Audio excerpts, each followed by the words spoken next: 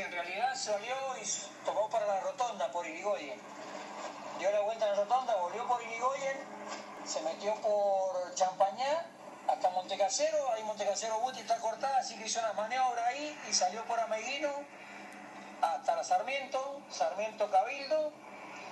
Ahí en Cabildo ya me sumé yo, veníamos, ya veníamos tres autos ahí, cruzó Cabildo, Cardonato, Cardonato Los Sauces, Pedro Vargas, Juan 23, El Molino, y salió por el tropezón. A la altura de Pobre Diablo ya iban dos móviles y íbamos 30 taxis por lo menos atrás. Y no había forma de pararlo. Le- lo chocaron para volcarlo, para torcerlo en la ruta y no, no hubo caso. Más, la puerta de atrás la destruyeron.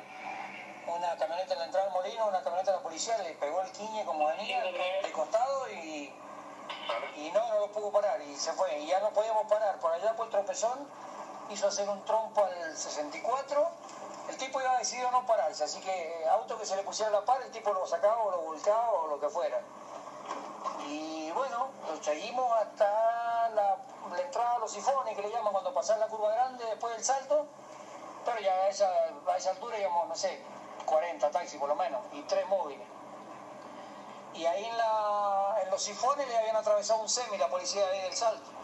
Así que ahí no tuvo escapatoria y se tiró la banquina. Y bueno, ahí llegamos, los que veníamos adelante, lo alcanzamos a patear en el suelo, qué sé yo, hasta que ya llegaron la policía, hizo un escudo, lo cubrieron. Igual rompimos el escudo y le seguimos pegando un rato hasta que pudo más o menos manotearlo, lo subieron arriba del móvil y ya no dejaron tocarlo más. Pero sí, fue una carrera grosa y ya te digo, 140, 150, fácil, todo, ¿eh?